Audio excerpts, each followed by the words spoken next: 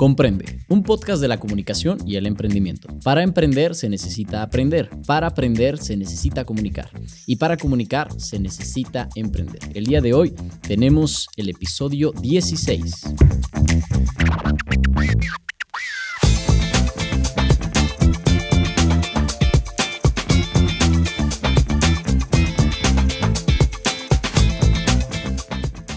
¿Qué tal? Muy buenos días, muy buenas tardes, muy buenas noches. El día de hoy estoy muy emocionado porque tenemos el episodio 16 y estoy con una mujer. Ya hacía falta en este podcast una mujer que pueda aportarnos valor, una mujer que realmente inspira a muchas personas. Me presento rapidísimo, mi nombre es Eric Núñez, soy comunicólogo y emprendedor y el día de hoy tengo una mujer enfrente que hackeó el sistema. Para mí, mi, mi forma de pensar ha hackeado el sistema, cuenta con una asociación civil llamada Coacolandia ella rescata caballos y eh, tiene una, una particular forma de cómo los financia, pero nos va a platicar todo lo que ella es, cómo es que eh, ella ha emprendido este proyecto y qué retos ha afrontado en, en este camino.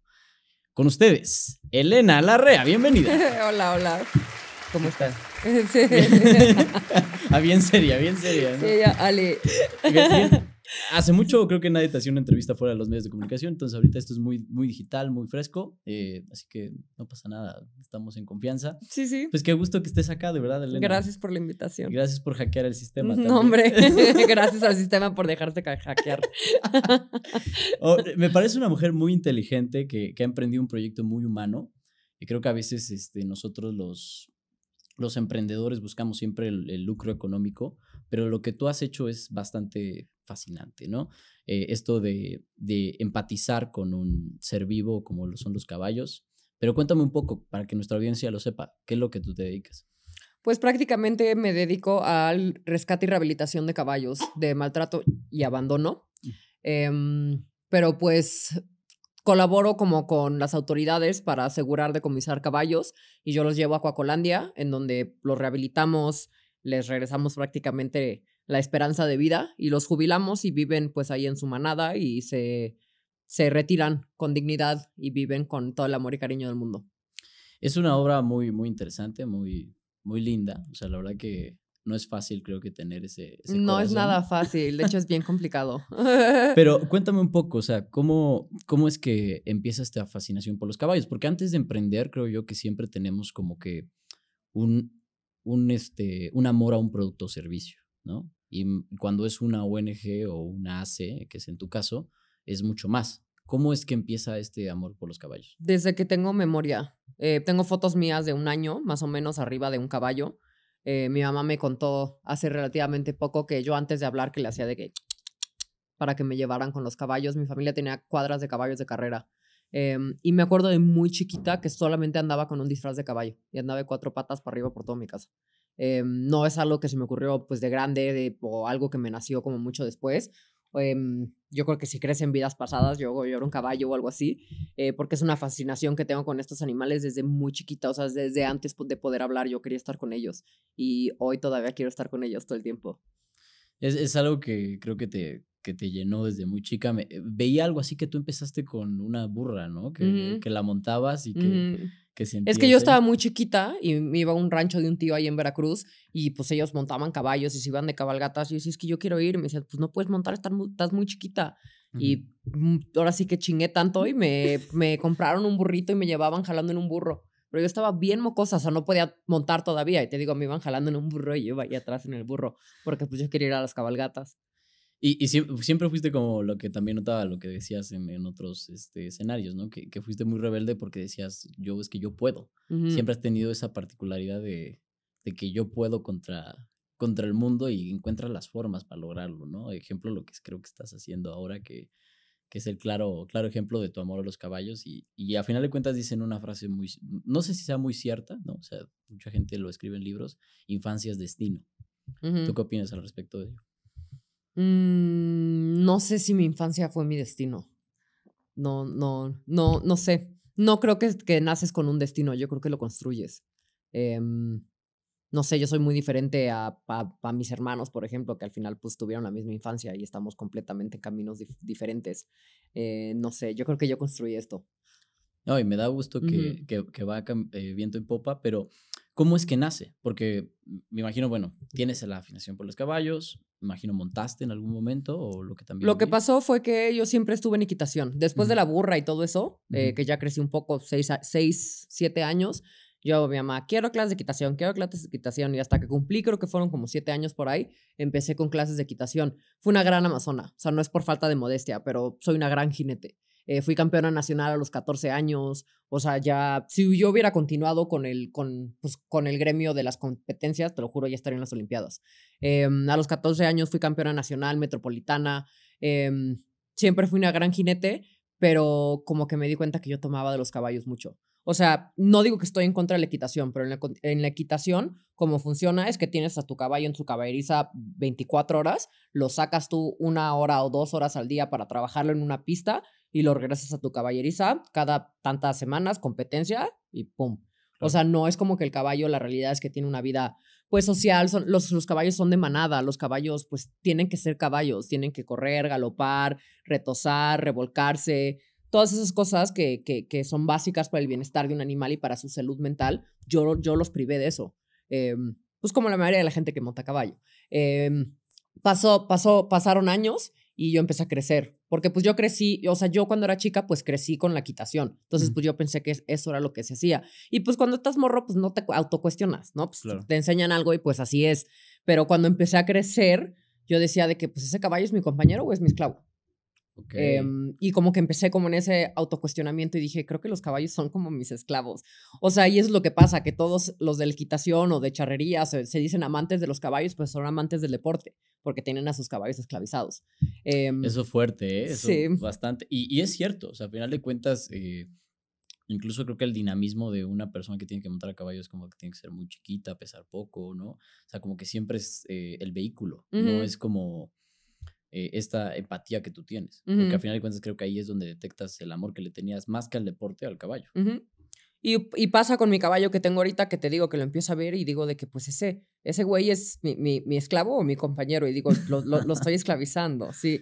Y ahí digo como que le quiero regresar algo a los caballos, los amo, los he amado toda mi vida y creo que es tiempo de, de regresarles algo de lo que he tomado.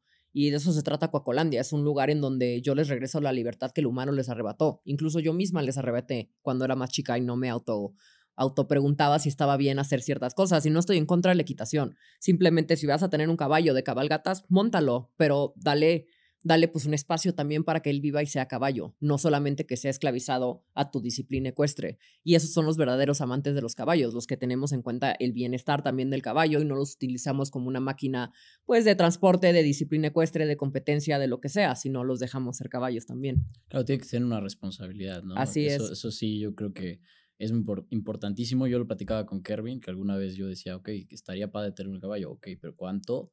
No solamente con adquirirlo, porque no es un coche que lo puedes dejar ahí, no es un objeto inanimado, es, una, eh, es un ser vivo que a final de cuentas te va a eh, dar como eh, ese, ese plus de, de, de, sentirte con alguien, porque a final de cuentas esa es la, la, la, cosa padre, porque tú, tú haces una relación, creo que con el caballo, y, y a final de cuentas eso lo llevas a un emprendimiento, ¿no? Pero ¿en qué momento es el que dices, ok, esto se va a llamar Coacolandia y me voy a venir a Puebla y voy a hacer esto.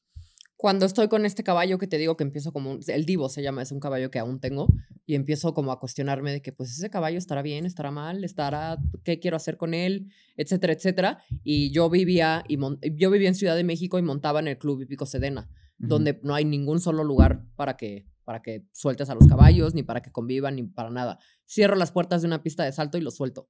Y el caballo empieza pero a relinchar, a brincar para arriba y para abajo. Y lo veo tan emocionado, yo me siento tan mal.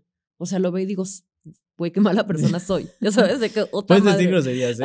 sí, sí, sí, sí. Dije, chale, me estoy pasando de lanza. Claro. Y me lo, me lo traje para Puebla. Yo conocí un lugar aquí, pues que tenían potreros, pasto, donde podía estar mucho más libre, que también era como un club hípico. Y este, y decido mover, decido yo moverlo para acá para que tenga más espacio. Y, este, y yo ya tenía como contemplado, porque te digo que dije, ¿cuál podría ser una manera de yo regresarle pues algo de lo que he tomado de los caballos, ¿no? Regresarles un, un poco de tanto lo que me han dado. Y me empiezo a involucrar con la señora Tony Camil, que con los caballos de las carretas de basura. yo ya teniendo al Divo aquí en Puebla y un espacio para tener pues caballos donde él está pues muy amplio, etcétera, etcétera, pues digo de que pues voy a ayudar a los caballos. Em, entonces empiezo a hacer como jornadas veterinarias con Tony Camil. Ella las, las patrocinaba, es una señora que ha sido pues, un pilar para el rescate de los caballos en México. Em, prácticamente llegábamos con veterinarios, talabarteros, nutriólogos, todo, y pues la gente que trabaja con caballos de basura en los Reyes La Paz, por ejemplo, Estado de México, trae a sus caballos a que nosotros los atendamos gratis. Eh, porque pues la realidad es que no vas, a, no vas a, prohibirlo de un día a otro, estamos trabajando en eso, pero mientras tanto, al menos que los, trabajo, los caballos trabajen en buen estado. Entonces los desparasitábamos, los arreglábamos, les hacíamos los dientes, los recortes, los cascos, los herrajes, todo, y los que de plano sí estaban, pero así de que muy, muy graves, pues se decomisaba, ya estaba Propaem y me los llevaba yo. Entonces, pues empecé a recibir caballos. Tony Camil me, me mandó algunos caballos y le presenté el, proyecto de Coacolandia al, al, gobernador Astudillo y de Acapulco, de Guerrero. Y le dije de que, pues, oye, los caballos de las calandras están prohibidos desde el 2014, es 2019 y sigue circulando. Em, yo te propongo eh, que se vayan al santuario y así tú te, o sea, todos ganamos. Y sí, los de Comisoles dio cuatrimotos a todas las calandras de Acapulco y yo recibí 42 caballos de las calandras de, de, Acapulco el 18 de marzo del 2019. Y ahí empecé pues, a trabajar en colaboración con algunos municipios que tienen policías montadas. Yo recibí jubilados de la policía montada, empecé a recibir caballos pues de las carreras parejeras, eh, pues de disciplinas secuestres que habían sido decomisados también y pues empieza empieza a crecer mucho Coacolandia. Más que nada porque no había un lugar en donde las autoridades que decomisaban caballos podían decir de que, ah, manda, mándaselos esta vieja, ya sabes. O sea, era de que, y si decomiso ese caballo de la carreta de basura, de que a dónde lo mando. Entonces, pues no había como no, en ese momento que yo estaba empezando, pues no estaba muy armado, pues el rescate de caballos, porque la gente ni siquiera rescataba caballos, ni nadie sabía dónde a, dónde se iba un caballo rescatado. La mayoría se iba al rastro. Así que se pasa la voz de que pues yo, yo tengo un santuario, empieza como a tener un poco de nombre Coacolandia, un momento que yo tenía 130 caballos y una manada de 25 burros salvajes. Todos salvajes, aparte era, pues esas fueron las épocas de oro definitivamente. Eh, pero de retos, me imagino. sí, ahí no era tanto porque, porque yo tenía el ingreso económico.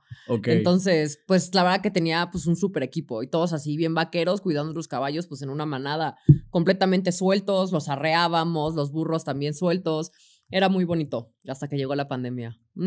Que, justo este, e, e, es donde creo que hay un plot twist en tu marca personal, en tu carrera, eh, en tu misión. Porque aquí es donde yo entiendo, tú, tú, empiezas con esto de los caballos, aparte creo que tú estudiaste psicología. Yo estudié psicología, sí. Eh, pero te dedicaste meramente ya a la C en ese momento. y eh, yo antes de tener esta C tenía otra C y trabajábamos con perros, gatos, o sea, temas como más, pues de animales como de mascota, de compañía, y también trabajaba mucho pues en, acomodar en adopción o en decomisar también a especies silvestres.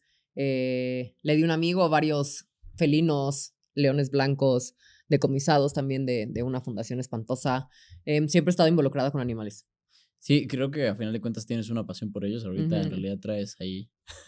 Si ven una cuna en la tercera cámara. Sí sí sí, Hay un cariño. Yo amo a los animales. Simplemente los caballos son mis animales favoritos. Pero antes de los caballos, yo siempre trabajé a favor de los animales. Eh, trabajé, hice un internship en PETA, en Washington, para poner mi propia fundación aquí en México. La hice con Arturo González Sánchez, que es un médico veterinario zootecnista muy bueno. Em, yo estuve en Japón trabajando en contra de la cacería furtiva de delfines. Estuve en África trabajando en contra de la cacería furtiva de, de pues, animales de los top five. Em, yo he trabajado, o sea, trabajé con el ejército. Siempre he trabajado a favor de los animales. Simplemente los caballos son mis animales favoritos. Sí, siempre has tenido como esa, ese momento de hacer así, ¿no? y, bueno, ya lo concretas, eh, creo que a final de cuentas 2019 fue un año eh, pues de, de, que ya decías, bueno, sigue el mundo, ¿no? Mira, hasta lo tengo tatuado. 2019, sí. Interesante, ¿eh? Ahí que salga en la cámara porque...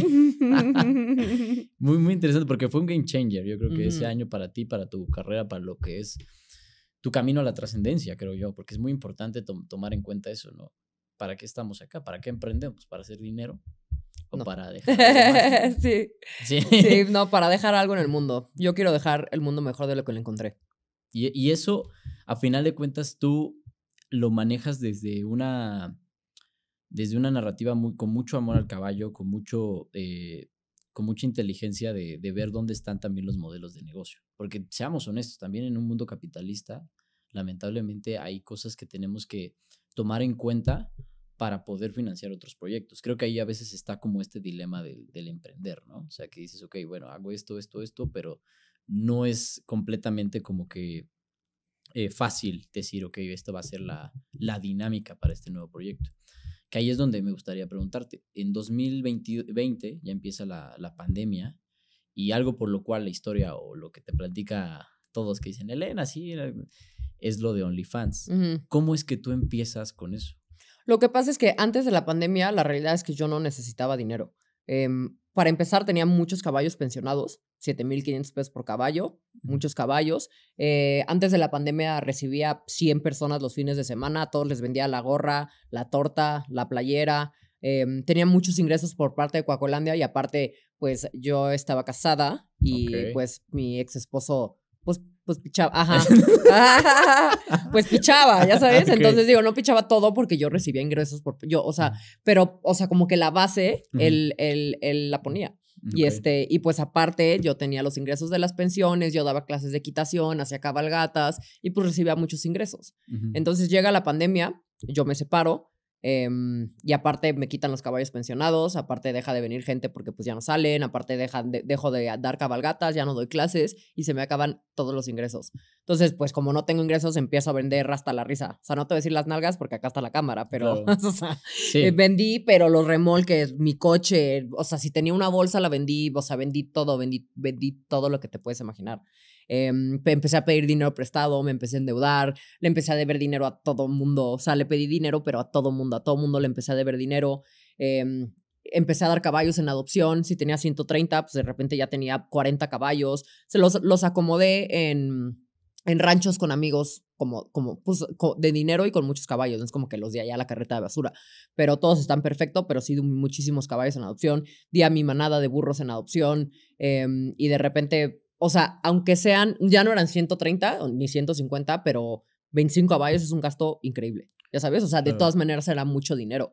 Entonces, pues seguía haciéndole como podía, intentaba pues seguir dando clases, pues buscar caballos pensionados, le pedí ayuda a todo mundo. O sea, a todo mundo le pedí donativos que me ayudaran y pues yo no tenía tanto jale en las redes, la verdad, pero pues yo le pedí ayuda a todo mundo, nadie me quiso ayudar. Eh, y yo creo que la gente no dimensionó lo lejos que yo estaba dispuesta a ayudar para, pues, para sacar adelante a mis caballos y pues para seguir ayudando caballos. Sí, porque hay mucha gente que piensa que tú empezaste esto de OnlyFans y todo esto antes de, digo, después de los caballos. Sí. O sea, porque dicen, ah, este, no, Elena se metió a eso para justificar, no, cabrón, o sea, empezó antes el proyecto. O sea, yo cuando abrí. OnlyFans ya tenía 270 caballos rescatados, más o menos. Ok. Em, vi un, vi un, este, una entrevista, no una entrevista, pero vi como un link el otro día que decía de que Elena vio un caballo en la calle sangrado y decidió abrir OnlyFans para rescatarlos. Y de que, ¿cómo inventan? Sí, O ¿cómo sea, mi, mi trayectoria, así, güey. O sea, mi trayectoria de caballos ya era de las más grandes de México Claro. antes de abrir OnlyFans. Lo que pasa es que, pues, la gente, la verdad es que no me, no, no, yo no era tan reconocida. Claro. Em, me acuerdo perfecto. Tenía que pagar el siguiente tráiler de alfalfa o de avena. Em, me metí a la caballeriza de una yegua pinta que tengo, me senté en la serrín y me puse a llorar, pero así de a cántaros. O sea, me acuerdo que la yegua me chupaba la cara así, ya sabes. Y dije, voy a tener que cerrar el santuario. O sea, ya no, ya no. O sea, fue, de verdad una época muy oscura. O sea, ya no tenía dinero, ya, o sea, veía mis caballos, aparte los caballos lo sentían, de que entraba a los carrales y se me acercaban todos los caballos, o sea, te lo juro que me consolaban. Y yo decía, voy a cerrar, el proyecto me costó sangre, o sea, no sé, yo, o sea, yo ya tenía una trayectoria, no sé si 270, pero 150 caballos rescatados. Y dije, pues ya mamó, güey. Sí, Ya claro. sabes, de que no sé qué más vender, no sé qué hacer para que la gente me ayude y ya no tengo ingresos. Y un amigo me dijo de que abre OnlyFans. Y yo, no, no seas descarado, güey. ¿Sabes? De que, ¿cómo voy a abrir OnlyFans? No seas ridícula. Es que es como la que, el meme, ¿no? Que te dicen, oye, pues ya cuando la cosa está medio cabrona. Ajá, de que pues abres OnlyFans. Y yo, no mames. ¿ya no sabes? cualquiera puede, ¿eh? Sí, Tú si podías, también eso. Y sí que pude. Sí, no, uy, uy, que pude. Pero, pues Ah. sí, me dijo de que un amigo abre OnlyFans. Y yo, no, mames, ya sabes, dije de que, güey, yo, no- yo, no- yo no me quiero encuerar, güey, ya Sí, sabes. claro. Y dije de que no, no. Y pues a los tres días tuve que pagar el, el, el tortón de avena y dije que pues... A ver, ¿qué pedo? sí. ¿Y cómo, cómo empieza? O sea, porque dices, oye, güey, o sea, es que no sé, la verdad, me vas a odiar porque no estoy suscrito, pero realmente no. Pues te suscribes hoy. O sea, todos se suscriben hoy. suscríbanse, suscríbanse. Ajá, sí, sí, Pero sí. ¿cómo empieza realmente? Este, o sea, ¿qué dices? O sea, güey, voy a agarrar y me voy a tomar una foto. Lo que pasa, anuncié en redes de que todo. Digo, yo, yo ahí ya tenía una base de seguidores, no sé, 150 mil Ah, bueno, seguidores son en, mis dos cuentas, ¿no? De Instagram y de Cocolandia y en Facebook 200 mil, algo así.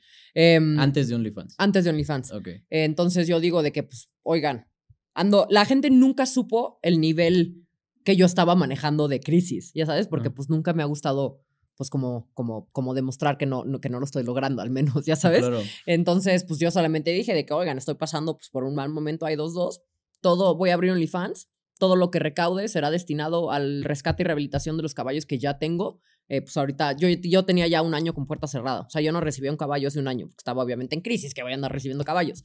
Este, mm, y dije, suscríbanse. Primero, la verdad es que todo el mundo se burló de mí. Bueno, mi familia, mi mamá me bloqueó. No o sea, mames. Mis hermanos, pues, bye. Tengo un hermano que sí me decía de que, ay, qué padre, haz cosplay, de que te ven muy bien. ¿Sabes? Fue el Ah, único, mi medio hermano Jaime, saludos. Saludos, Este, Jaime. sí, saludos, Jaime, que fue el único Grande. que... Ajá, eres grande, eres el único. Pero ahí en fuera, la verdad es que, pues, oye, pues hasta me desheredaron. Oh, ok. O sea, estuvo fuerte el madrazo. Estuvo fuerte. Oye, mi jefa me bloqueó. De Pero- que, que, que- que era un vergü- una vergüenza para la familia. Yo les dije, pues sí, yo les pedí ayuda. O sea, te digo, la gente, no, ni, ni, o sea, ni mi familia ni la sociedad dimensionó lo que yo estaba dispuesta a hacer para sacar a los caballos de las calles y mantener a los caballos en mi santuario que ya tenía. Claro. Y te digo, Qué amor tan grande, ¿eh? Te lo reconozco y. fue mucho, es mucho amor los que yo, yo- lo que yo les tengo a esos animales. Te digo, la gente no dimensiona lo que yo soy capaz de hacer. Deja tú que me encuere. Me fui a pelear ahí con un vato a Jalapa, me metí a su casa, lo grité, tengo audiencia, estoy en carpeta de investigación, lo voy a meter a la cárcel. Tengo 16 caballos que me están costando 100 mil pesos al mes. O sea, ¿sabes? O sea, no, no, la gente no dimensiona el amor que yo le tengo a estos animales y yo estoy dispuesta a hacer lo que tenga que hacer para seguirlos sacando de las calles porque lo merecen y porque nadie más lo hace, ¿sabes? Y al principio te digo, pues todo el mundo me funó. O sea, fui la burla de internet. Primero, la verdad es que la gente, uno decían de que nada, ya sabes, otros no creían. De que, pues otros, de que México no está listo para el OnlyFans todavía. O sea, Ok. tal vez otros lugares, no sé, Colombia, o como Sudamérica o Estados Unidos, que son mucho más abiertos. México aún sigue siendo un país un poco machista en algunos gremios, como el del caballo. O Sí. sea, vaya, hablemos de la charrería, las escaramuzas, no, no, no, Claro. sabe, sabe- Sí. las escaramuzas saben de lo que hablo. Interesante. La verdad es que la charrería tiene un tinte todavía un poco machista. Eh, y la- no la charrería, el gremio del caballo en general. O sea, tanto el salto, eh, la alta escuela, pues es un, es un gremio pues un poco dominado por muchos hombres. Entonces, me acuerdo cuando hice el rescate de un caballo que se llama Rompope, que entre cinco charros le patearon la cara.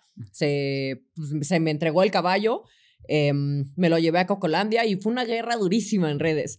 Eh, pusieron, me acuerdo perfecto, un entrenador de escaramuzas. O sea, ese tipo vive de las mujeres charras, de las escaramuzas. Y puso, pudo más un par de chichis que el presidente de la Federación de Charrería Mexicana.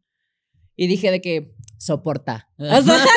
Y la queso. y la queso, ajá. Que, que ahí es donde yo creo que tú hackeas el sistema. O sea, siendo honesto, o sea, a final de cuentas el machismo de alguna forma beneficia o, o lo, lo- lo entiendes y lo utilizas a tu favor y eso es positivo, porque a final de cuentas tienes un fin bueno, a mi gusto, que es rescatar caballos. Ujú. O sea, creo que a veces es eh, uno de los grandes problemas que vive nuestra sociedad es la falta de empatía y más cuando son especies que no pueden hablar ni pueden decirte, oye, necesito esto, oye, no me pegues, oye. Y sí Entonces, hablan, la gente no escucha, pero, pero, Pero sí, sí exacto, hablan. o sea, Sí, a final de cuentas los, los animales tienen un, un sentido que, que puedes empatizar y creo que, que es muy, muy, muy cool lo que estás haciendo en ese aspecto.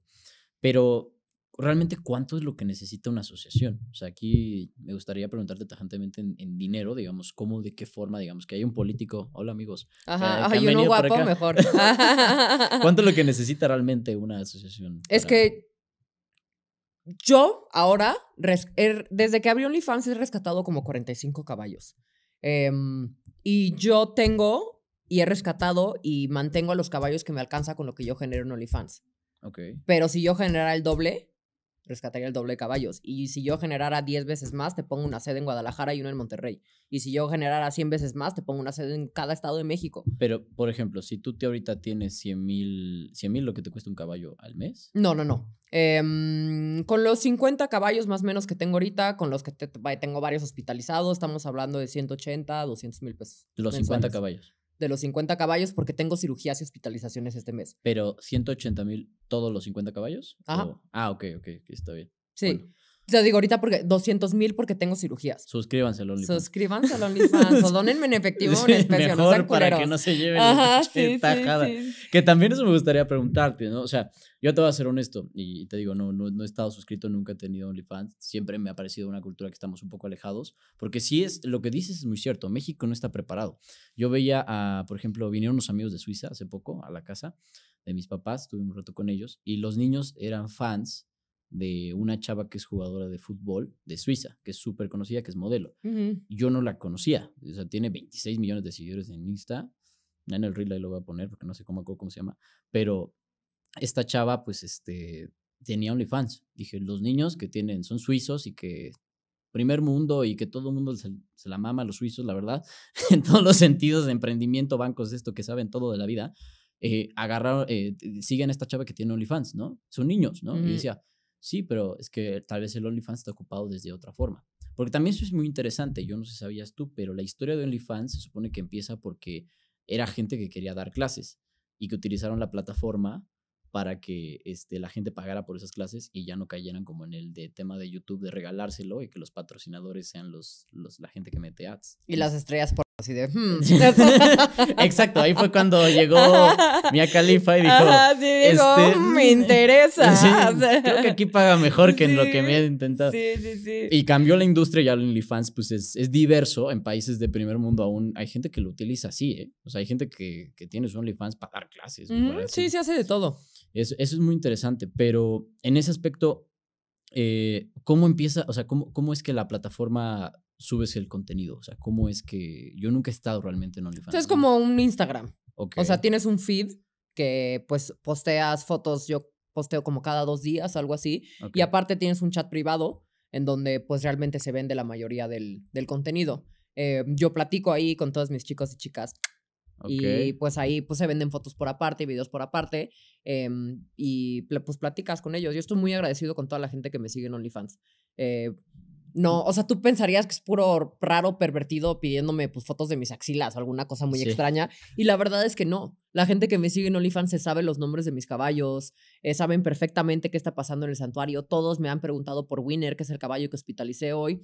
Es gente, aparte yo no hablo con nadie en mis redes, la verdad. O sea, tengo un equipo que maneja las redes de Coacolandia. Yo no respondo. En OnlyFans yo respondo. O sea, yo platico con la gente que me escribe. O sea, yo, yo, yo les mando fotos, yo les pregunto de su día, me mandan sus selfies. Yo tengo una relación personal con, con la gente que se suscribe a mi OnlyFans. Así que, pues, muchos se suscriben para hablar directamente conmigo. Em, y la verdad Porque es que... ese chat es como plus, ¿no? O sea, según yo, como que. No, puedes chatear. Las fotografías y los videos se venden. Ah, ok. se venden, pero el chat, o sea, puede, puede, no, o sea, no con todos platico porque no tengo tiempo, aparte, Claro, así como sí. de que, ah, hola, ¿cómo estás? Bien, ¿y tú? Pero con algunos sí, sí, sí platico ahí en sus momentos. Y diario me tomo unas horas para platicar con la gente de OnlyFans. Pero realmente eso está padre porque de alguna forma estas plataformas es como YouTube, ¿no? Que puede ser MrBeast y tener, no hay techo, o sea, puedes hacer videos loquísimos y generar millones de millones de dólares. Igual. OnlyFans lo mismo, ¿no? Imagino que la plataforma agarra un porcentaje de eso. pero La final- plataforma te quita el 20%. el- ah, pues está bastante legal, o sea, te quita más este, YouTube y Google y, y Facebook, ni te digo. o sea, ujú. yo no sabía que quitaba tan poquito, ¿eh? Pensé que te quitaba más, pero qué, qué padre que, que hagas eso porque de alguna forma generas una comunidad positiva dentro de una plataforma que tal vez es lo que me gustaría preguntarte. Es una tal vez burbuja un poco complicada, ¿no? O sea, no sé si te haya llegado, ¿cómo han sido esos retos que has visto dentro de esta plataforma? La verdad que me ha ido re bien. Sí, entonces, O sea, no tengo nada malo que decirte de OnlyFans. O sea, vaya, la banda me, me pide pues cosas que yo no voy a hacer. O sea, yo no me masturbo. De que mi cuca nadie la ha visto. ok, o sea, yo no, yo no hago nada explícito. ok, Em, no sé si lo haga después, ya sabes, pero hoy, pues es como más como pues un, un desnudo como artístico, digamos, ¿no? Pero, pues, o sea, y, y- y- y, ah, tal vez no tan artístico a Claro. ratos, ¿no? Pero, pero no, o sea, estoy con la pierna cruzada, digamos. Claro, exacto. O sea, como que hay, que, hay modos, ¿no? Ajá, hay modos. Pon tú que eso sería así como de que, pues, ¿cuándo vas a enseñarla? Ya sabes, de que, pues, ahorita no, compa. ¿Ya Hay sabes? una cosa que se llama Fit Finder, igual no sé si lo has visto por ahí, que es como de que vendes tus pies, que ahorita que dices Ajá, esto de las sí. axilas, creo que los pies más como común. Sí, pues fíjate que no me piden tanto de Mm, pies. De pies, ¿no? Ok. No, o sea, y aparte yo juego mucho como con el rollo como pues, de la chica vaquera, ¿no? De que Claro. obvio todo vato quiere ver a una chica vaquera. O sea, como, sí, sí, sí. Pero también yo, tengo, yo tengo un lado dominatrix muy, muy marcado. Ok. O sea, y la gente que me sigue, desde, yo digo, yo soy tacones pues, de dominatrix, ¿sabes? Me gusta mucho el látex. O sea, la gente que me sigue sabe. Claro. Aparte, pues ahorita porque como que de, de a un tiempo para acá decidió puro niños, decidieron puros niños seguirme por el tema de los animales. Entonces ya soy más cuidadosa en Instagram. Claro. Pero antes me subía de dominatrix y con un fuete y sin, sin tema. Y subía mis mordazas, ya sabes, así. Claro. Ahorita ya cuido un poquito más mi contenido porque me sigue mucho niño. Este, Que eso es importante. A final de cuentas, creo que tienes una línea ética que muchas personas que están dentro de estas esferas que son muy complejas no la han tenido, ¿no? Y Ujú. empezaste esto. Es que esto hay que dejarlo muy claro, porque hay gente que dice pura mamada y te juro que, que yo lo veo con los clips, que roba, o sea, luego que te pega un TikTok, ya sabes que comentan cualquier pendejada, más allá de que soy un blanco privilegiado haciendo un podcast, según Ajá. de que tú empezaste en el tema de, eh, de, de- de la asociación, ¿no? Primero, luego haces OnlyFans y lo haces de una forma ética porque al final de cuentas todo financia tu asociación. O sea, hay gente que Ujú. hace OnlyFans por otras cosas y, hay que, y es muy respetable. A ver, es muy respetable. Si tú que me estás escuchando estás haciendo OnlyFans, pues, muy cool y todo, pero me da mucho gusto que haya gente como tú en este mundo. ¿eh? De verdad Ujú. que, que eso está muy, muy interesante. Y fíjate que te digo que al principio la verdad que la sociedad me funó. O sea, todo el mundo se burló, o sea, vaya, o sea, y la gente demeritó mi trabajo por tener OnlyFans. De que no más, esa vieja se encuera, de que qué vas a ver de caballos, de que, bro, tengo desde el año de vida.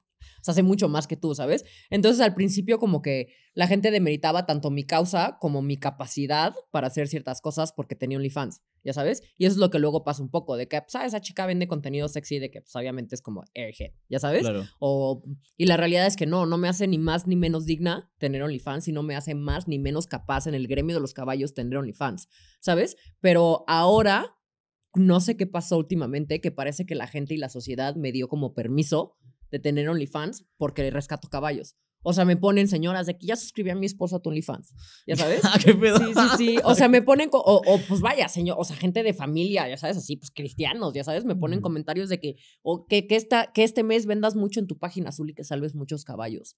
¿Sabes? O sea, como que pareciera que la gente me dio chance.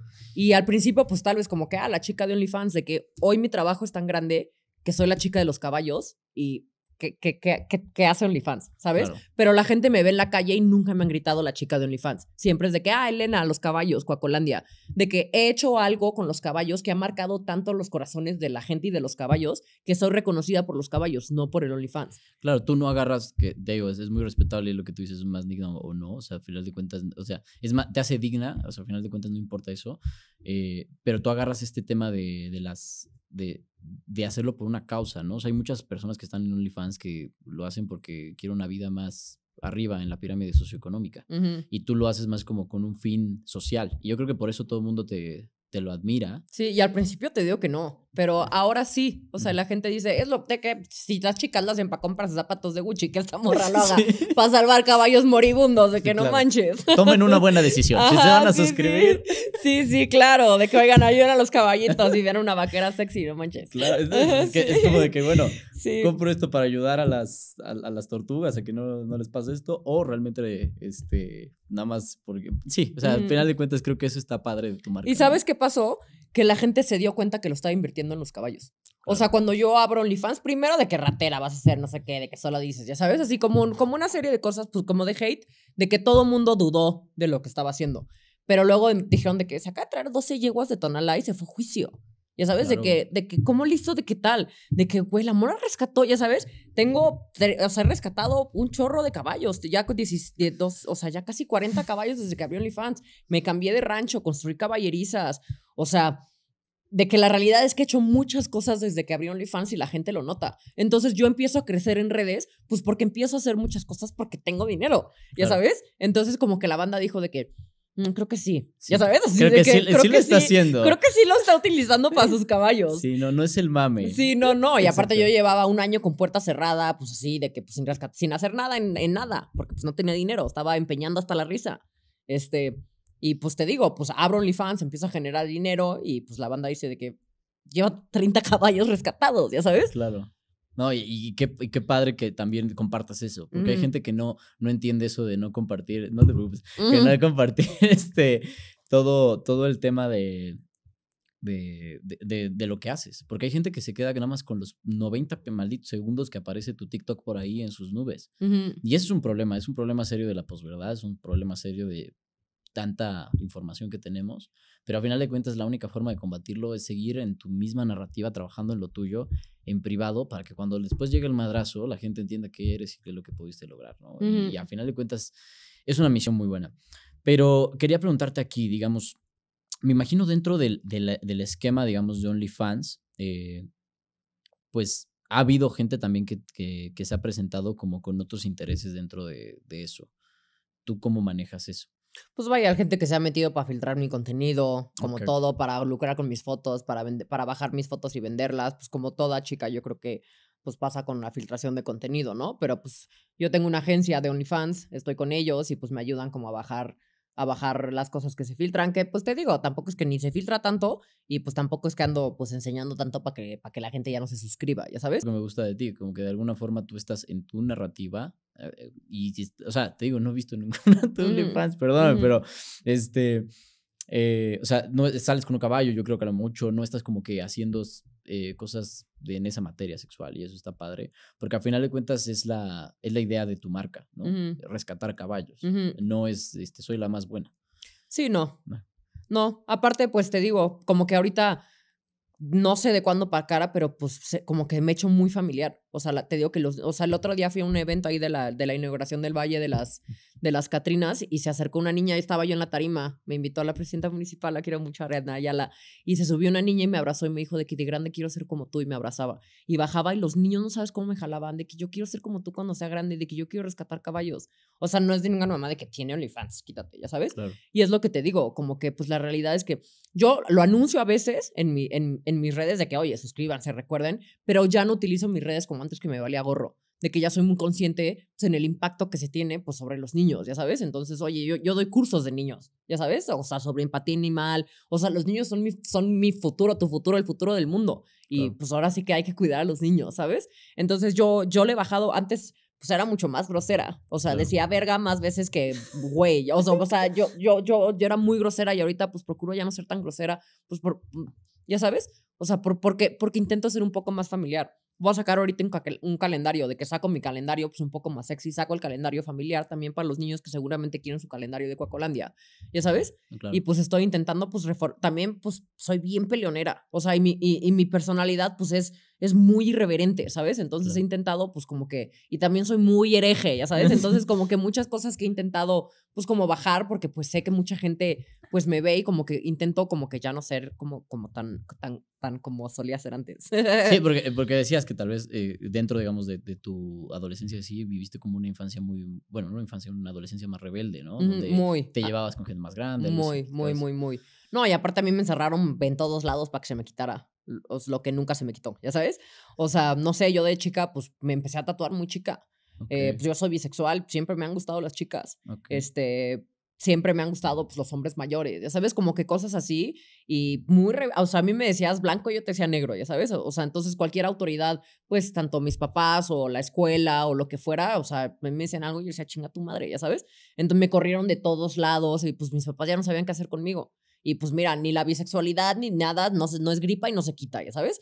Así, entonces pues me mandaron como unas escuelas muy militarizadas para que yo pues como que me reformara. Y a mí, pues te digo, los tatuajes, los aretes, todo me ha gustado desde muy chica. Entonces, pues, pues así, y ahora estoy toda tatuada. Ya sabes, o sea, empecé con tatuajes chiquitos así de que enciérrenla y mírame, ya sabes. O sea, por lo que me encerraron de chiquita, pues ahora estoy mil veces peor. Y ya que soporte. Y la queso. Ajá, sí, sí, sí, sí. Pero, al final de cuentas, a ver, eres una empresaria, porque lo eres, eh, de una AC, que es algo muy cabrón. O sea, hay, gente que es empresaria de muchas cosas, emprendedores, eh, gente que viene y va en, este mundo del medio entre freelance y esto y lo otro, vuelvo reciclo, no lo soy, hago una moral, ¿qué hago, no? Este, eres alguien que ha logrado un mensaje para la trascendencia, no se ha quedado en, lo mismo y eso está muy, muy interesante porque me gusta que haya gente como tú, te lo digo así, este, podcast, que hackee el sistema, que rompa un poquito más eh, las, las formas de lo, de lo estereotipado, del camino, ¿no? Aquí hemos invitado a todo tipo de gente, pero siempre han cubierto dos líneas muy importantes y esto es lo que me gusta de ese podcast, que comunican y emprenden. Y si tú no comunicas, si tú no emprendes y si tú no aprendes del resultado de ambas, no vas a lograr nada. Y no vas a lograr la trascendencia que quieres. Y creo que tú lo estás logrando, lo has logrado, pase lo que pase. Yo creo que viene mucho más camino. Y creo que aquí has, has enfrentado también muchos retos, ¿no? Llevas desde 2019 ahí. ¿Cuál ha sido los retos más grandes que has enfrentado y cómo lo has afrontado? Mm, es que todos los días son un reto. O sea, te voy a decir mi día de hoy. Me levanté a las como a las 6 de la mañana. Eh, iba a ir al gimnasio, ya me estaba tomando mi preentreno y vi una denuncia de un caballo que estaba em, ya completamente desplomado en los huesos y un tipo lo estaba pateando y lo estaba pegando con un látigo para que se levantara un caballo de una carreta ahí en el campo de Atlisco. Entonces, pues, ahí me comunico pues me quedo, con, me quedo sin ir al gimnasio, no pasa nada, me comunico con el ayuntamiento, con el Instituto de Bienestar Animal, agarro mi camioneta, voy, no tengo remolque ahorita en Coacolandia, entonces eh, voy de camino para allá eh, intentando comunicarme con la autoridad, porque yo sin la autoridad no puedo hacer nada porque es vigiato. O sea, yo no puedo robar, yo no puedo llegar y robarme un caballo, ¿ya sabes? Entonces, todos los caballos de Coacolandia son decomisados o asegurados o entregados voluntariamente. No se puede de otra manera porque es robo de ganado y es penado. Entonces, comunicándome con las autoridades que no me contestan, luego ya como a los 40 minutos ya me contestan por parte del instituto, entonces ahora consigo un remolque, voy por el remolque, llego por el remolque, no está el remolque, consigo otro remolque, viene atrás de mí, llego al lugar, este, pues ya llego con unos veterinarios, el caballo está tirado, pásale dos sueros, ya no hay tres sueros, ve a la clínica, tráete un suero, veo que el caballo está mal, necesito un hospital, no lo puedo llevar a Coacolandia, empiezo a ver lo de Coacolandia, me empiezan a llamar del otro caballo que ya tengo que hospitalizar en la UNAM, entonces digo de que hoy tengo que regresar tengo que mandar el caballo para allá, eh, tengo mil mensajes, mil llamadas en las redes del hospital que va a recibir al caballo que está tirado, entonces yo de que, uta, no sé qué, empiezo como a entrar en crisis, luego el caballo no se quiere subir al remolque, entre ocho personas lo subimos, este, mientras subo al remolque me empieza a llamar el del hospital también, que qué vamos a hacer, que no sé qué, bla, bla, bla, le respondo, el caballo se manda al hospital, lo llevan unas, unos de mi equipo al hospital, me subo a mi camioneta, llego a Coacolandia, embarco al otro caballo, al otro hospital de la UNAM, eh, siete personas subiéndolo porque el caballo está trastornado, entonces no se quiere subir al remolque porque seguramente piensa que lo voy a regresar al maldito lugar de donde lo saqué. Aparte está ciego de un ojo, eh, tardamos, te digo, como una hora, lazos, todo. Luego reviso todo el peso de los caballos porque una vez al mes van por parte de ADM a, ayudarnos a revisar a todos los caballos. Entonces revisamos a todos los caballos. Viene un chico de Gato Pardo a hacerme una entrevista. Estoy ahí. Luego soltamos a todos los caballos que estaban en cuarentenados. Em, luego me hablan a decir que hay un problema con otro caballo que tengo en una clínica. Luego estoy también en un tema legal que tengo que ir a, atender a una audiencia que un vato que demandé de, los, de unos caballos. Tengo que ir a la audiencia el 27. Este, luego también empiezo, o sea, como que todo, todo el tiempo estoy como en un proceso de solucionar cosas. O sea, yo desde que abro los ojos, por eso me despierto tan temprano, porque en vez de volverme a dormir cuando pelo el ojo a las 6, 5 de la mañana, empiezo de que, ay, tengo que ser el ojo del caballo, no sé qué, bla, bla, bla, las pacas. Luego, aparte, pues obviamente, de dónde va a salir el dinero de hoy, ¿no? De que entonces tengo que mantener todo lo que yo hago durante el día, tengo que encontrarme mis dos horas jodido para hablar con la gente de OnlyFans, para sacar contenido. Aparte de eso, soy creadora de contenido y no solo sexy, soy creadora de contenido de TikTok. El contenido de TikTok es diferente del de Instagram y no puedo subir el mismo de Instagram a Facebook. Tengo que grabar todo lo que grabo durante el día. En TikTok tengo que subir tres videos al día, si no me quita el algoritmo no sé qué carajos. En Instagram tengo que dejar descansar, entonces me atraso el contenido que subí en TikTok y ya se me atrasó, ya me llegó otro caballo, ya no subí el pasado. Así es todos los días. Entonces, la verdad es que todos los días son un reto. Luego, como que cierro los ojos en la noche y digo, ¿en qué me metí? Y aparte, empecé a monetizar redes hace poco. Yo la verdad es que ¿cuántos años tengo para vender fotos sexys? ¿Sabes? Los caballos viven 25 años. O sea, yo no voy a tener 50 años y voy a estar, digo, si las compran, pues las vendo, ya sabes. Pero seamos francos, ¿no? ¿Cuánto tiempo me queda en OnlyFans? Entonces, todos los días estoy pensando que necesito hacer OnlyFans sustentable antes de que se me acabe la belleza. Porque si se me acaba mi belleza física, ¿qué voy a hacer? Entonces, pues estoy buscando qué hago, cómo genero, ya empecé a monetizar redes, pero si yo dejo de publicar en redes un día, pues baja mi monetización. Entonces, todo, todos los días estoy un poco pues alterada de, de, toda mi vida, ¿sabes? Aparte, pues no vendo chicles. Eh, tengo caballos lastimados que necesitan una atención médica carísima. Entonces, pues mi vida es un puto estrés, güey. sí, sí lo siento, pero está, a ver, digo, eso es lo que es una vida de un emprendedor. Eso es lo que es la vida de un empresario. Eso es la vida de alguien que está buscando una trascendencia y que lo está logrando. Porque, pues qué fácil, ¿no? Vivir y existir. O sea, y decirte, güey, tuviste. Y eso es lo que a final de cuentas yo admiro de ti, de tu rebeldía. Que dijiste, güey, no voy a quedar con el estereotipo de no tener que luchar estas, estas batallas. Escogiste difíciles, sí, pero, pero estamos haciendo algo interesante. Tú le estás haciendo algo muy interesante y la verdad que es, que es admirable. Suscríbanse, de Ajá, verdad. sí, este, suscríbanse tan- OnlyFans, de verdad, ayuden. Sí, sí, realmente creo que a final de cuentas estás haciendo algo, algo trascendente para una especie que, que lo necesita y eso no es fácil, eso no es fácil, te lo reconozco. Y escucharte en este estrés es, es normal, o sea, la mayoría de gente que creo que, que lo vive, eh, pues eh, eh, no es sencillo, pero lo, lo tienes muy claro. O sea, esto que me dices ahorita, por ejemplo, de, de cuánto tiempo tiene lifetime value mi, mi OnlyFans. O sea, yo no escucho a Carly Ruiz pensando en eso. O sea, yo escucho Sí, más otra, otra talla doble 3D o no sé qué mamada hay por ahí. O sea, eso me gusta de, de ti. Y, y creo que es, que ha sido un reto, pues bueno, importante que, que ahorita tal vez, tal vez sea como más delegar. No sé cómo tú lo veas. O sea, en este momento, más como también en ese tema empresarial, necesitas Ujú. mucha gente comprometida con tu misión. ¿no? Mira, tengo, pu- vaya, mi mano derecha se llama Juan Daniel Jiménez. eh, mm, sin él, no sé qué haría. Eh, pues mis Saludos, Juan. caballerangos, ajá, saludos, Dani.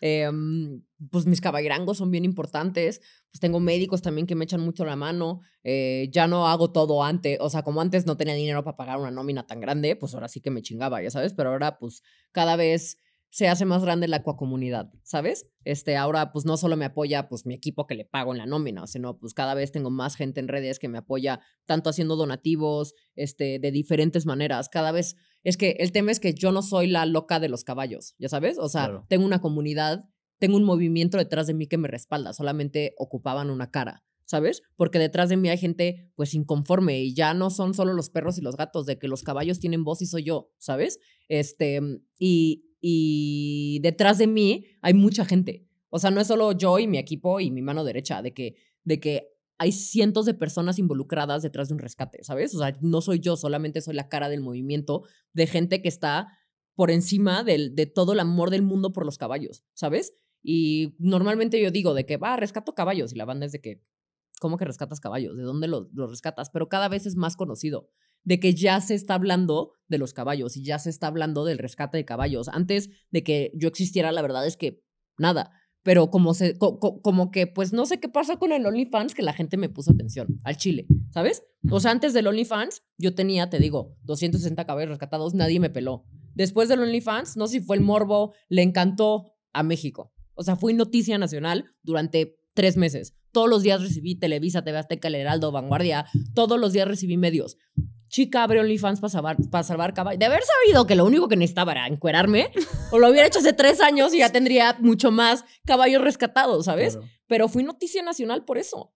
Y la verdad es que ahora tengo mucho más fuerza que la que tenía antes. Fue por el OnlyFans que me di a conocer, ¿sabes? Ahora me apoya gente dentro y fuera del OnlyFans, pero ahora me apoya la gente y te digo, ahora soy un movimiento. O sea, de gente inconforme con el maltrato a los caballos. Antes, pues tal vez como que pues, era ahí una loquilla que parece gallo de pelea. Claro, le dio imagen a final de cuentas eso. Así es. Y eso es bueno porque al final, o sea, encontraste una línea rara, la neta, para poder financiar lo que, lo que es tu proyecto y, y no está mal. Y Ujú. quien te critique tarde o temprano eh, lo entiende, porque entiende el amor que tú le tienes a este proyecto, Sí. ¿no? O sea, esto ahorita que me platicas de lo familiar, que, que no sé, o sea, ahorita es- espero que esté bien, o sea, creo que es algo bien, bien difícil, ¿no? O sea, cuando tu familia a veces no te no cree en tus proyectos es, complicado. Pero que tú lo estés tomando así, creo que es, que es increíble. O sea, realmente te lo admiro. eh, creo, que, creo que el reto más grande es eso, ser congruente, ¿no? Y que la gente te crea de lo que es el amor que le tienes a un proyecto. Sí, y los amo. O sea, y los amo. Y la verdad, la mayoría de la gente sabe que los amo. O sea, la gente que me sigue desde hace tiempo sabe que los amo. Pero con los rescates que yo hago me genero muchísimos enemigos. O sea, aparte de todo lo que te digo que me genera estrés durante el día, o sea, es de que mensajes por Instagram de que pues el día que pases por aquí te vamos a matar, te vamos a violarte, no sé qué. Tengo denuncias ya con la policía cibernética, o sea, me han amenazado de muerte, ¿sabes? O sea, porque, o sea, yo nunca pensé que rescatar caballos iba a ser una línea que corriera peligro mi seguridad, ¿sabes? Pero cuando rescaté a Rompop el caballo charro, oye, me amenazaron de muerte tres meses seguidos. Entonces, pues encima de todo, tengo que... Es que lo que pasa es que la gente no soporta que una chica se mande sola, que aparte venda fotos encueradas y que le quite un caballo a los charros cuando en la charrería siempre había sido intocable, ¿sabes? Claro. Yo hice que lo suspendieran a las personas que, que, que maltrataron al caballo. Les quité el caballo. O sea, la charrería antes nunca se había decomisado un caballo porque lo habían maltratado. O sea, marcó un precedente. Yo fui y le quité 16 caballos, un culero que los tenía en, el- en los huesos en Jalapa, los suspendieron de la Federación Mexicana de Salto, de la FEM, le quité a sus caballos y lo voy a meter a la cárcel. Ese güey me va a estar haciendo vudú ahorita, ¿sabes? O sea, Te realmente... protegemos con el mate. Sí, no manches. Y así, por donde voy, que Ah. quito caballos, me acaban odiando. O sea, ese vato de tener los, o sea, todos los caballos que yo he retirado han de tener pesadillas con mi voz. O sea, me han de ver y decir, maldita bruja. ¿Ya sabes? Es que yo creo que es, es un reto, es un duelo. A final de cuentas, este, eso que tú estás enfrentando. O sea, eh, meterte en una AC o en una ONG es como tres pedos grandes.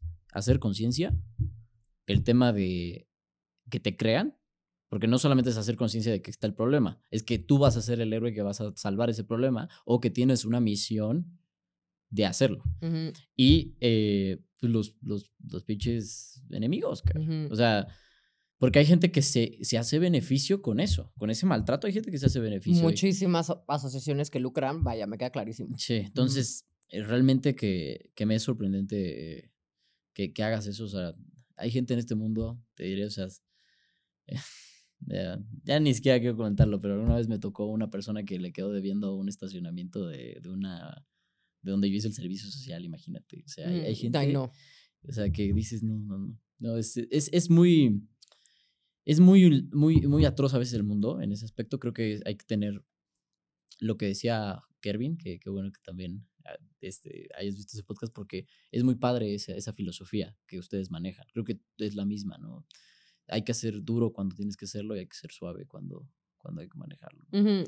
Pero esa fue la frase de Kervin. Me gustaría cuál, eh, saber cuál es la tuya. Ahorita que ya empezamos a cerrar, nos puedas dejar un mensaje motivador y no tal vez a las personas, porque tú has notado en este mundo que a veces, por más de que tu intención sea directa de esto es lo que quiero hacer, apóyenme, la gente no lo entiende. Más a la Elena, tal vez más joven. ¿Qué le dirías? A la Elena más joven. A la Elena que tenía esta misión, que dijo Coaculandia cuando empezó, que tal vez antes de lo que pasó emocionalmente y personalmente. O tal le diría de que agárrate. Ya sabes, así viene una montaña rusa y vas a tener que, o que pelear con garras, uñas, sangre. O sea, porque agárrate porque viene durísimo, pero va a ser lo más increíble que vas a lograr hacer en tu vida. Aparte te digo, yo de chiquita amaba los caballos. Así yo, si mi yo de chica me viera ahora, o sea, me dan ganas hasta de llorar. O sea, de, de verdad que me, he me, me roto el lomo salvando a los caballos, ¿sabes? Y nadie ha querido más a los caballos que, que mi yo de chica, ¿sabes? O sea, de verdad no tienes idea cómo los amo. O sea, yo estoy dispuesta a hacer lo que tenga que hacer por esos animales. Y te digo que la gente no dimensiona. Por eso fue el OnlyFans, fue, fue algo como, como, como muy escandaloso. De que, y si no hubiera funcionado el OnlyFans, de que lo que hubiera, o sea, yo no voy a permitir que bajo mi existencia en la vida se maltraten y se abandonen a los caballos, ¿sabes? Y yo voy a hacer lo que tenga que hacer para, pues, para salvarlos y para darles el cariño pues que el, que, que el humano no les ha dado. Y es lo chido de Coacolandia. O sea, yo le quiero regresar la libertad a los caballos que el humano les arrebató. Y hasta, o sea, hasta el día que me muera lo voy a seguir haciendo y haga lo que haga de la forma que lo haga. Mucha gente no está de acuerdo con mis modos, pero ¿qué tal mis resultados? Y los resultados hablan. Así es. O sea, Y se nota en tus ojos, ahorita que veo esta, esta pasión que tienes, o sea, con ganas de llorar, de decir, este es mi... Es, es lo mío. O sea, los animales están aquí con nosotros, no para nosotros, ¿sabes? Los caballos han servido al humano a lo largo de la historia toda la vida. Es hora de que a los caballos se les reconozca. Es hora de que se hable de los caballos. Y es lo chido que lo estoy logrando. De que, pues, por, por el OnlyFans, por lo que tú quieras. Pero hoy se está hablando en los medios, en los programas, en los podcasts, en los podcasts, se está hablando de los caballos. Y esa es mi misión. Y si me matan ahí en un rescate, que haga lo que sea, mira, yo me morí madera, haciendo madera. lo que yo No, quiera, que ¿sabes? no pase, que no pase. Sí, no, pero pues es, es eso, los, lo- ya se están hablando de los caballos y es lo chido, lo estoy logrando, o sea, estoy logrando que tú sabes hoy que los caballos se rescatan y que hay una vieja loca tatuada que los rescatan, que sus modos serán cuestionables, pero se está hablando de los caballos, ¿sabes? Y es todo lo que quiero, que la gente reconozca, respete, quiera, cuide a los caballos y se está logrando. Y aparte, la gente cuando, o sea, la gente ya sabe que hay alguien, ¿sabes? O sea, yo cuando llego a las competencias, o sea, escucho de que, de que la que quita caballos, ya sabes. O sea, la gente al menos enfrente de mí no toca un caballo, porque saben que se los va a quitar. ¿Sabes? Entonces yo llego a lugares, aparte yo voy carreras de barriles, o sea, yo voy a todos lados, a mí me gusta el ambiente del caballo, pero saben que cuando llego nadie puede tocar a su caballo, ¿sabes? O sea, estoy marcando un precedente que yo le doy miedo a la gente. O sea, yo le doy miedo a la gente que maltrata caballos, ¿sabes? Por eso me odian y por eso me amenazan, porque yo marco un precedente. Y pues así, y es, y, a mí me encanta, o sea, de que, ay, la, la, vieja es aquí, me encanta, me encanta, mira, témanme, porque se los voy a quitar, pues ¿sabes? sí, claro, porque estás contra una lucha, digo, estás en una lucha, al final de cuentas contra algo que está mal eh, y que, que, que, no es fácil, y que tienes que tener eso que justamente lo que decía eh, la frase, ¿no? Del horseman, es tener que ser duro cuando tienes que serlo, ¿no? Vaya, eh, qué lindo, Elena, no sé si hay algo que, que te gustaría dejarle a alguien en específico o, un mensaje más para, para alguien que esté como... Yo estoy seguro que hay mucha gente que, que tiene esta, este tema ahorita que platicábamos, ¿no? De las asociaciones este, civiles que están buscando emprender, que están buscando hacer algo. ¿Qué le dejarías a esa persona que quiere rescatar caballos, a esa persona que quiere rescatar X o Y cosa? Pues que no se rindan.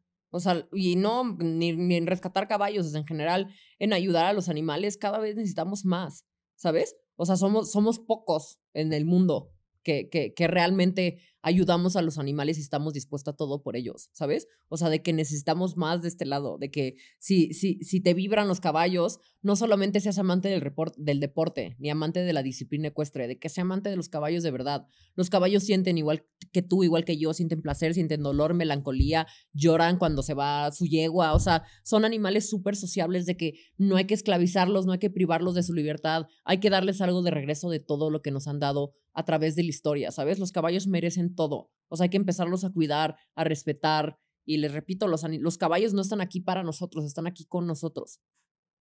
Vaya, eso, eso está fuerte. Eh, hay mucha gente que es animalista que no entiende totalmente eso y me da mucho gusto que tú sí tengas como claro ese panorama. Eh, qué gusto haber tenido una mujer emprendedora. El, en el gusto es mío. De verdad que, que vaya, que, que Qué, placer. Eh, Elena, por último, ¿cómo te encontramos en redes sociales? ¿Cómo encontramos tu OnlyFans? Ah, te, podría decir que, aparte del OnlyFans, recibimos visitas. Quien nos quiera visitar, recibimos visitas de domingo a jueves. Tiene un costo de recuperación de 200 pesos.